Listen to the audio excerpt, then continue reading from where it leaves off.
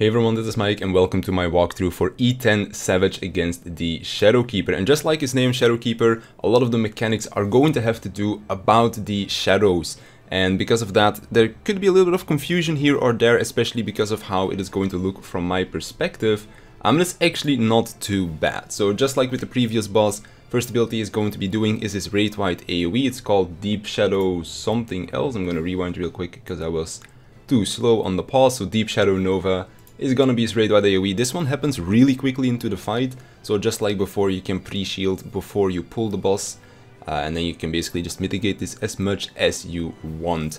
There are two different forms of this boss, which is going to be while he's on the floor, as well as while he's in the air, or like standing upwards. He starts on the floor. So first mechanic he's gonna do is Implosion, and this is already going to be spawning one of his shadows.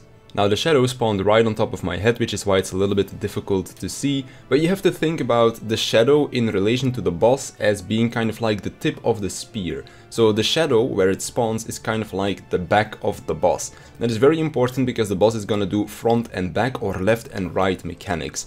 Uh, I'm hoping that some of the future examples in this video are going to be a little bit more clear for you to see, um, as it is a very important mechanic to understand.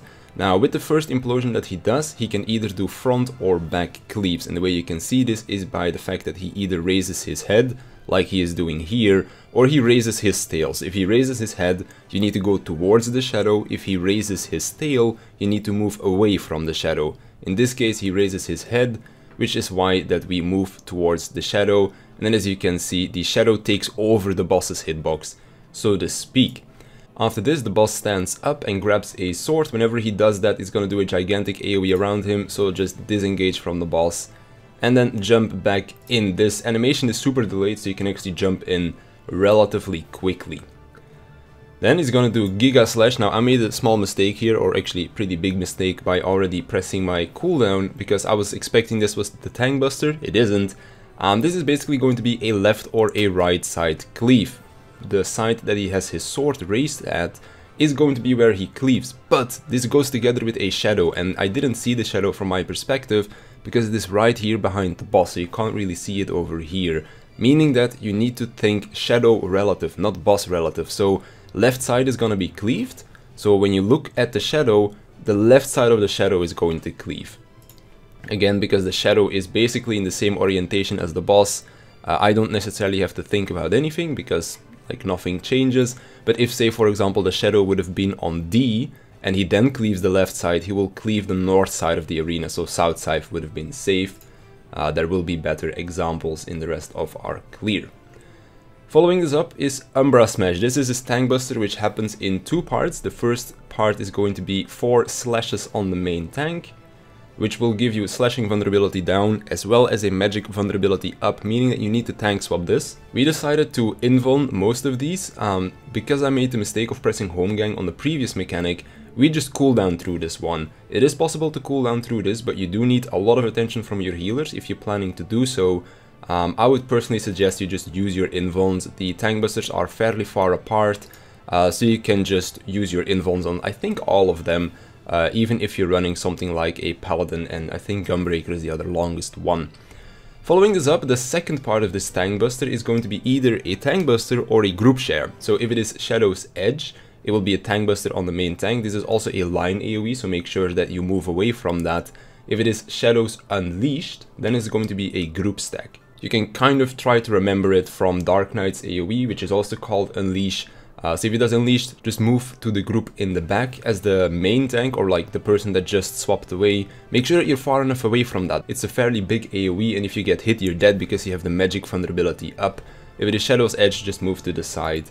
And then use some cooldowns if you are now the current main tank. This does hit fairly hard, but it is just important that you survive and seeing how you just swapped to being the main tank. You're gonna be full HP anyways, um, so for example, what I like to do, I just use Thrill of Battle plus a Raw Intuition and that is enough to keep me alive and then I just use, for example, Equilibrium to heal me up for the following auto attacks. Then we go into Shadow Cleave. For this we all need to have our spread positions. Now we do this in a very bad way and I'm gonna explain how you can do this full uptime as well. But I'm gonna let the mechanic play out first and then I'll explain how you can do it with full uptime. Uh, we found out about the full uptime way before we cleared, but we decided to just stick to this because we already had it very consistent and we didn't want to like have some accidental wipes on this mechanic specifically, uh, which is why we just don't really care about our uptime too much.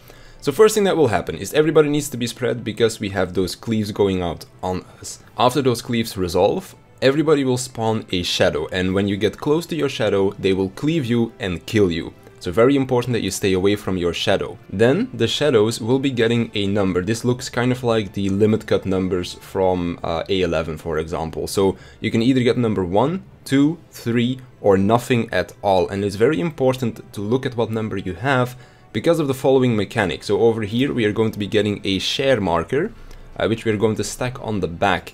And this share marker will give you a magic vulnerability up. The clones, your shadows, when they take damage, they will also get a magic vulnerability up. So in other words, whenever your shadow is taking damage, you can't share the share AoE, which is why it's important to look at your shadow. So for the first AoE that goes off, players with number 1 need to stay out. So everybody with number 1 stays out for this first AoE over here. Once this goes off, players with 2 move out, 1 can move in. Second AoE goes out. Then players with 3 move out, and then 2 can move in again as well. And then if you had no number at all, you can just stay stacked in this share AoE all the time. Now after this, he's gonna cast Shadow Keeper. This will cause all of your clones to spawn behind you and do a cleave, so we just stack it up behind the boss. Soon as the cast bar resolves, we just move through, and as you can see, our shadows are just gonna do a big cleave in front of them, uh, but seeing how everything was stacked up, it works just fine.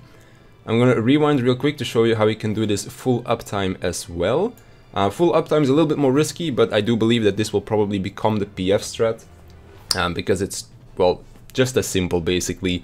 Um, so for the first thing, instead of dropping your shadows all the way on the edge, you just drop them max melee range, because they will spawn a little bit behind you, and you'll see this in a next mechanic as well, that the shadows spawn about, let's say, uh, the length of a Lalafell behind you basically and then you just move into the middle of the arena if you need to stack. If you don't need to stack, you just run through the boss to the other side of the arena of where your shadow is, and then you can keep full uptime and you don't have to disengage for one GCD uh, when the shadows appear basically. So it is first AoE, number 1 out, second AoE, number 2 out, third AoE, number 3 out, if you don't have a number, you just stay stacked with the group at all times. Shadowkeeper casts, everybody stacks up and we move through the boss to not get hit by the cleave of our ad.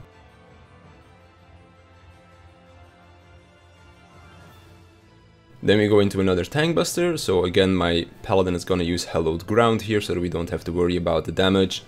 After the 4 hits I provoke, if it's unleashed, it is going to be a group share. If it is Shadow's Edge, it is going to be a Tank Buster. It is Edge again, so I just pointed away from the group and I use some cooldowns.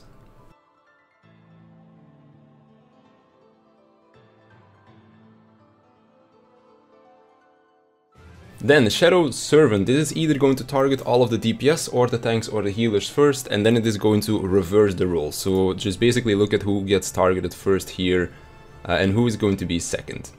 Then he'll do Giga Slash, which will again cleave one half of the arena, either left or right. Look at what side he is uh, raising, like for example here he's raising the left sword, meaning that he's gonna cleave the left side of the arena. Now, all of your players that got targeted by that little shadow puddle now have a shadow attached to them. The way that you look at this is you, the player, are the tip of the spear. So seeing how he is cleaving the left side of the arena, I am going to move to over here because the shadow is behind me I am looking forward meaning that the boss is going to be pointing forward uh, when this mechanic resolves and he's cleaving the left side of the arena. So that is why I am positioning myself over here. For example my Astrologian that is over here will need to run towards the north side uh, and then for example my Paladin is positioned correctly already as well. So that's how you can see where you need to stand. He can of course also raise his right hand and when he does that we would have had to reverse where we were standing. After they go out, you get bound for like 2 seconds or something like that, which is basically placing the shadow, uh, and after the shadow has been placed, you can move into the middle to dodge these cleaves. And then after this, the other group goes, so seeing how we had healers and tanks first, the DPS get it now. This time he is raising his right hand, uh, meaning that the players will again have to position themselves correctly. Again, thinking the player is the tip of the spear, the boss is going to be facing this direction for our red mage over here, so the right side is going to be cleaved. This mechanic will also come back later, whilst we're also doing other mechanics at the same time, uh, so it's pretty important that you know how to handle this one.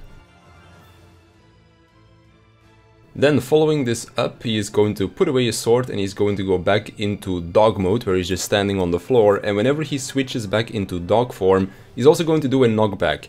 You can use your knockback invulns on this like Surecast or Arm's Length and later in the fight it will actually be very important that you use those as well because uh, they could kill you. If you decide to not use your knockback invuln, make sure that you get knocked back into the corner um, because if you get knocked back just north, east, south or west there's a high chance that you're going to be landing in the wall and the wall will kill you. Uh, so get knocked back into a corner or just use your knockback invulns. Umbral Orbs is a new mechanic. This is going to be two tank busters as well as two group shares and you can see it depending on the color as well as the quantity of the orbs. So the purple orbs are going to be your tank busters, the orange orbs are going to be your group shares. So you basically have your tanks assigned to a purple orb and you split into two light parties for healers as well as the DPS. You have one healer with two DPS uh, for each of these orbs. Main important thing here is that you move closest to those orbs because they will fly to the closest person to them. So I'm going to be rotating to the purple orb. You'll see that we have one healer group over here on the orange. There is one healer group over here on the other orange and then our paladin is on the other side of the boss. You can always keep full uptime whenever this mechanic happens. So there is no need for you to move underneath your orb or something like that. Uh, you can just stay on the boss's hitbox. It's only for this mechanic that's gonna happen right now uh, that you do have to drop your uptime for a little bit if you are a melee DPS. So the boss is going to be spawning four clones of him. He's going to be tethering one of them. You need to only pay attention to the one that gets tethered. I believe this is the same as in normal mode. And then he will jump around. Three, Four, after four jumps, they can either go forward or backwards, so pay attention to that. In this case, they moved backwards, so the one that is here behind me is going to be the actual boss that is going to be doing a mechanic. The mechanic that this clone will do will always be the same, which is the cleave in front of him. So basically the edge of the arena behind the original tethered clone, so to speak, is going to be your safe spot. Now together with this, we again have our Umbral Orb. So as you can see, two healer shares, two tank busters. The location of these orbs is completely random. So as you can see, we have share, share, tank buster, tank buster. It could be group tank, group tank. It could be tank, tank, group, group in the other way around. Completely random, just adjust to where these orbs are located. You move behind this boss over here. So we have our two groups going on the left, we have our two tanks on the right. Use the cooldown for this by the way, because they do hit fairly hard and then try to position yourself almost on a straight line with the orb. Um, because we've had some issues, like for example if our paladin was in the corner, there was a high chance that I would get his tank busted as well. So just stand right in front of the orb uh, to make sure that everybody gets hits. As you can see, everybody gets their orb on them, and that resolves this mechanic. Then we go into another raid wide AoE, Deep Shadow Nova, so just put up some shields or some mitigation.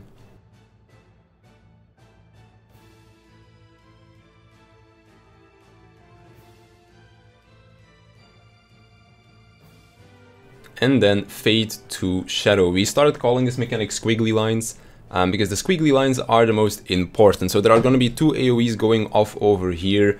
Uh, one is gonna go fast, one is gonna go slow. The way you see this is by the shadow that is creeping towards like the puddle at the edge. You can also just very simply look at which one is a straight line, which one is the bend line, and the bend line is going to be your first safe spot. So in this case, either 1 or 3 is gonna be the safe spot, because the boss is gonna do implosion. Again, look at where the shadow is. So the boss is pointing towards D, the boss is raising his tail, meaning that the backside of the boss is unsafe, meaning that our B side or our west side of the arena is gonna, oh wait, that's technically east I guess. Uh, the east side of the arena is gonna be unsafe, so everybody moves towards one. So this basically gets solved in two ways. First, you look at the two safe spots, in this case one or three. then you look if it is front cleave or back cleave, and then you look at where the shadow is. So in this case, one is going to be our safe spot. As you can see, the shadow is going to take over our boss right here, which was cleaving the back, so this side is unsafe. And then we just stand here because these two things are going to explode. Once they explode, you need to move into the next safe spot, um, because our bend lines reached their shadow and will now do their AoE as well. Later on, we'll see this mechanic a second time, uh, with some other mechanics paired together with it as well. And then the boss also did a raid-wide AoE, so important that you have some mitigation for that. Another set of Implosion this time around is going to do it four times in a row and it will always be the same. So if he raises his tail, again know that the shadow is unsafe. If he raises his head, know that you need to go to the shadow itself. So in this case he raises his tail. So we are going to position ourselves opposite to the shadow. Second shadow spawns, so we can already sort of move into place third shadow spawns, we move away from that. And then our fourth shadow, so we move away from that one as well. And then another raid-wide AoE.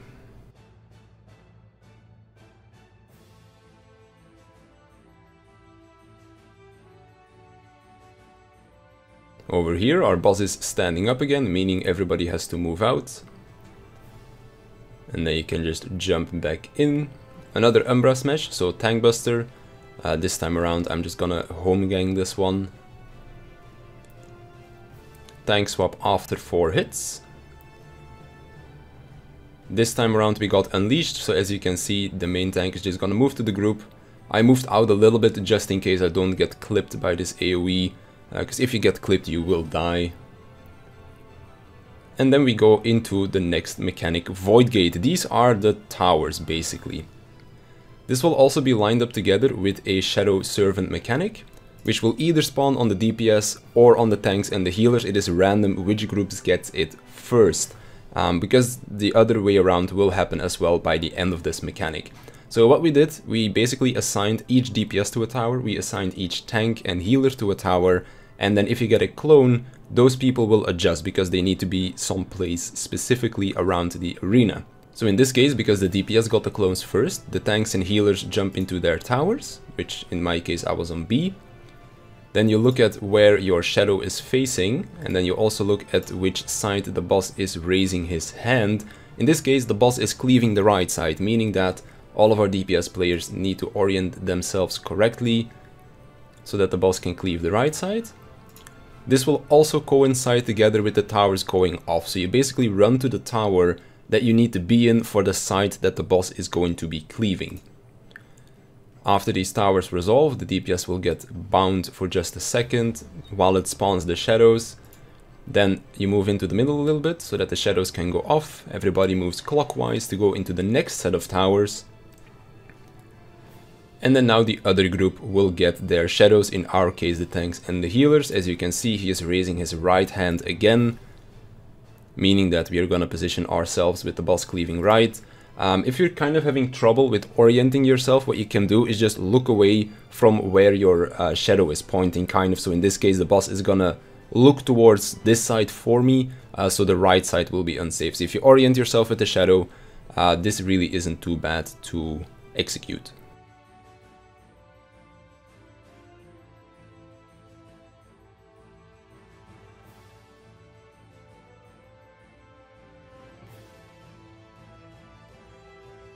Pitch Bog, the first time around that this mechanic happens, we just put these away because we don't actually need to interact with these orbs whatsoever. In the later mechanic, we are gonna have to interact with these, uh, but I'll explain what these do uh, once you get there. For now, for this mechanic specifically, there are no-no zones. Just stay away from them um, because bad things will happen. As you can see, umbral orbs are going to be spawning again, so just like before, purple orbs are tank busters, Orange orbs are healer slash party soaks uh, and they will be spawning in the corners. Now very important here is that you will use your arm's length because the boss is going to go back into dog form, meaning that he's going to do a knockback. Uh, and if you get knocked back into either the wall or into one of those puddles, you are going to die. So it's very important to save your knockback invuln for this mechanic. Again, if you're a tank, use a cooldown because these do quite hurt. And then of course healers uh, share the orange markers with the rest of their parties. Followed up by an implosion, again he is raising his tail, meaning that the shadow is unsafe. Uh, this time it's only going to be two implosions and not four, uh, so this one isn't too bad. And once this resolves, the puddles are also gone. Another Deep Shadow Nova, so just mitigate this Raid Wide AoE. And then we go into another squiggly line mechanic, this time around with different mechanics. Shackled Apart is going to be tethering healers and tanks together with a few DPS players. And it is important that you stay on the opposite side of the boss as your shackled partner. Uh, this is basically the restraining order debuff from like A12 Savage that we saw over there first, uh, just as a little bit of a different indicator. Basically, even if you're a melee and a tank on the other side, for example, if you stay max melee of the boss, uh, the tether won't break, which is the important part here. So just keep max melee if you are a melee player, just in case you are tethered to a tank. We have a north group and a south group, and we will basically adjust to where our safe spot is. So again, safe spot is going to be where the bend line is. So we move into our safe spot. Don't move too soon, uh, just give the other player on the other side enough time to adjust as well. Then Umbral Orbs will spawn. So again, these are your Tank Busters and Healer Shares. Location of these orbs is again completely random. The way that we handled it is for the next mechanic, we will always move clockwise, but if for example the Tank Busters are on the same side and the Group Shares are on the same side, you might have to move anti-clockwise as well. So as the first AoE goes out, our tethers are going to go away, meaning that we can just adjust as necessary. We rotate clockwise if we have one on each side. And then for tanks, again, use a cooldown because these do hurt quite a bit. And that will resolve the mechanic. Another Deep Shadow Nova, which is again the Raid Wide AoE.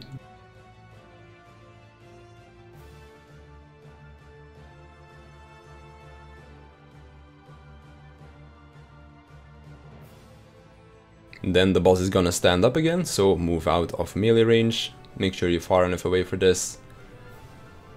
And then we're getting another Pitch Bog. This time around we're gonna be placing them a little bit different. So when it comes down to a healer or a ranged, place them inside of the corners. You can also place them a little bit differently like here.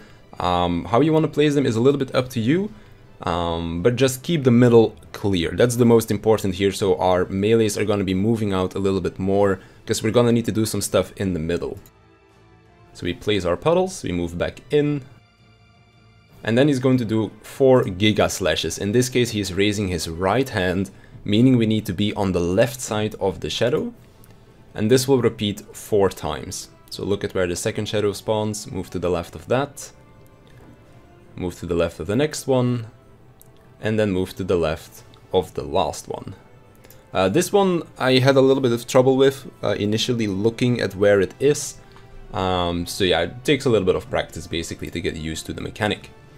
After this one resolves, Void Gate Amplifier again, basically Void Gates where the towers, Amplifier means that you now need two people in one tower. And the way that we're gonna do that is with our shadows. So when you run into these puddles, you are going to be getting a shadow. Very important, again, when your shadow spawns, it is going to cleave you, so you need to run away from that, where your shadow spawns, or well, if you're too close to your shadow, it will cleave, uh, so just run away from it. Then our void gates are going to be spawning. I'll let the mechanic play out first and then I'll explain it. Uh, then Shadow Keeper, which means that your shadows are going to teleport to you. Then Cleaves, because Shadow Keeper happened. Then the gates go out. Then there are baited AoEs. We do this super badly uptime wise, but I do have a, a, way that you can do it. And then we have another set of towers with close tethers. So this time around you need to be close to the tank or healer that you're tethered to. Uh, I made a mistake here because we had some confusion about how we are gonna do this mechanic. And that basically resolves that one. So it's a real clusterfuck of mechanics. It is definitely the hardest mechanic in the whole fight. So I'm just gonna take it from the top. So when he casts Void Gate Amplifier, run towards the puddle that you spawned. After you take the puddle, you get kinda sucked into the middle. Make sure that you run out again, so that the shadow does not cleave you. Then you're gonna position yourself in front of the puddle. You can also stand on the edge of it. Uh, I preferred standing a little bit in front because the shadow spawns behind you, uh, so it gave you enough space.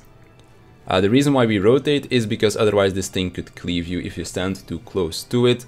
Uh, for example, when it comes down to our healers and our range, they are taking the same puddle uh, that is next to where they dropped their darkness AoE. So we stand in front. Oh, very important thing to note, with Shadowkeeper, the clone will spawn behind you where you are facing. So we need to be facing the boss uh, if you want to like drop it behind you, so to speak. Uh, which is why I'm also standing a little bit in front because I'm facing the boss, so my shadow will spawn behind me inside of the towers. Right as Shadow Keeper resolves, the shadows teleport behind you. As you can see, one spot in the tower is now taken up. Move away from your shadow to dodge the cleave. Don't move into the next tower yet, wait for the cleave to resolve. Cleave resolves, now you can move into the next tower. So everybody is now standing inside of a tower, every shadow is now also standing into a tower. Then the shadows resolve, Shadowy Eruption is baited AoEs underneath you. It's very important that you bait these anywhere there is not a tower and anywhere there is not a shadow clone because again shadow clones take damage so if you hit a clone that person will die and then of course you can't do the next mechanic. Uh, what you can do here as a melee is very simply just drop it in the middle um, but we didn't think of that we just ran away uh, and I just go to the end of the arena or the edge of the arena rather uh, you can just totally drop these in the middle if you want to do so as a melee player to keep uptime. And then after you drop your puddles, move into your tower. I ran to the wrong tower because we assigned them a little bit weird uh, and I got some confusion over here. But basically assign each tank and a healer to a tower. Then each tank and healer will be shackled together with a DPS, which is this green tether that you can see. And then we just had our DPS players adjust to where our tanks and healers were. Um, because we were in the wrong tower, as you can see, one tower is going to be exploding. Um, but one tower exploding isn't too bad, because every time a tower explodes, uh, you get this little debuff over here, this purple one, as well as a damage down. Uh, and if you get three of this debuff, you get Doom. If you get Doom, it's just game over at that point, because you will die. Uh, even a healer LB3 can't save you right there. Tank LB3 won't do anything for the damage either, so you can't really cheese this mechanic, so to speak. Um, so that is how that mechanic resolves. I'll just take it one more from the top because it is pretty complex and this will probably take a little while to get through it. So again, Void Gate Amplifier, take your shadows, move to the next tower in front of it so that your shadow spawns behind you. Shadow Keeper resolves, Shadow teleports, you move away, wait for the cleave, cleave goes out, move into the tower, tower goes out, Move to a place where there are no shadows. Again, if you're a melee, you can drop these underneath the boss's hitbox. Move into your assigned tower if you're a tank or a healer. If you're a DPS, run towards the tank or the healer that you are tethered towards. Again, we do it wrong here. And then that will resolve the mechanic. After this one, there is another tank buster, so Umbra Smash. Um, at this point, our hallowed ground for a paladin is back, so you can just invuln all of these if you want. After 4 slashes, tank swap. I get unleashed, meaning unleashed was the group share, so I just throw it onto the group. And then we go into the next set of mechanics, which is just another Umbral Orbs. We almost killed the boss here, but I'll explain whatever comes after this. Uh, so just handle this as normal. Boss is going to go back into dog form, meaning use knockback immunes. Tanks go to the purple orbs, DPS run to their uh, DPS and healers run to their assigned groups with the orange orbs. Now after this resolves there's just gonna be a bunch of raid wide AoE spam. I think he does 3 raid wide AoEs before he kills uh, or before the enrage happens. Uh, so that's basically how that resolves. So we kill it over here. Um, but after this there's not really that much more to come. There's just I believe 3 raid the AoEs. And that is pretty much going to be that. So that is the run through of E10 Savage. If you have any more questions, Feel free to leave them in the comments down below and I'll get back to you when I have the time because of course by the time this video goes live I will most likely be raiding again uh, to try and clear E11 Savage. So on that note I want to thank you for watching, I want to thank my patrons for supporting me and I'll see you in the next one.